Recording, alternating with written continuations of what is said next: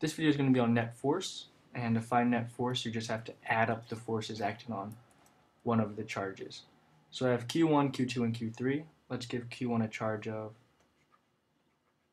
plus 1 coulomb, and Q2 negative 3 coulomb, and Q3 let's do negative 5 coulomb. And then the distance between Q1 and Q2, let's use easy numbers here. Let's say that they're 1 meter apart, and then Q2 and Q3, how about, uh, eh, it looks about equal, but we'll say 1.5 meters. And then if we wanted to find the net force on one of these, let's just do the net force of on uh, Q1. What you have to do is you have to figure out the two different forces on it and add them together. So the first thing we'll do is find the force of force of Q2 on Q1.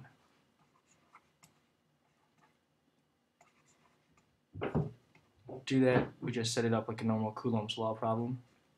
So you get K, 9 times 10 to the 9, Newton meter squared over Coulomb squared, times Q1, which is 1 Coulomb, times Q2, which is negative 3 Coulomb.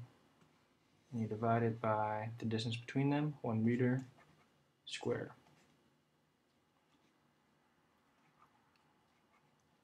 And that will give you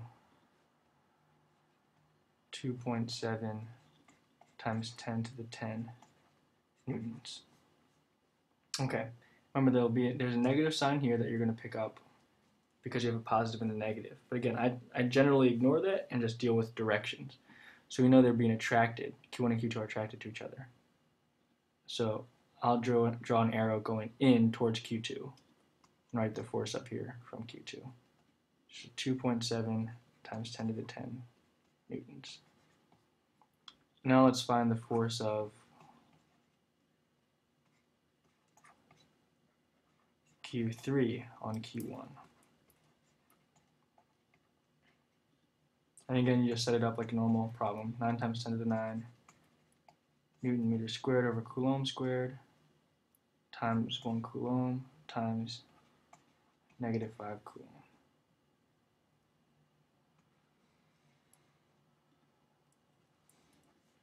Divided by, okay, the distance between Q1 and Q3 is 2.5 meters. It's good to look at the diagram just to double check that. And we have the 2.5 meters squared. And that, uh, let's take another one. That'll be, so that's uh, 7.2 times 10 to the 9 newtons. And again, we'll have a negative sign here and you'll see that they're going to be in the same direction. Uh, imagine that this arrow is smaller than the other one. 7.2 times 10 to the 9 newtons. So I want to find the net force, and the important part here is that once you have those two numbers, again, what I do is I just I make them both positive and I figure out if I need to add or subtract. They're going in the same direction, so I'm going to add. And so I'll just get uh, 2.7 times 10 to the 10 newtons plus 7.2 times 10 to the 9 newtons and that'll give you uh, 3.42 times 10 to the 10 newtons. So you see again, you see that these arrows are in the same direction, so there's going to be even stronger force on Q1 than if it were just Q2 or just Q3. And just to, I think it's it would be nice to just, if you need practice, to try to find the net force on the other charges. So you'll see that in Q2, if you want to find the net force in Q2, there's going to be an attractive force between it and Q1. Um, but there will be a repelling force between it and Q3. And so you're going to have to subtract those two numbers because they'll be canceling each other out. I'll just draw you the arrows just to be clear. So Q1 and Q2 will attract. Oh no, I'm wrong. See, there we go. Look how wrong I am. Q1 and Q2 will attract, and Q2 and Q3 will repel.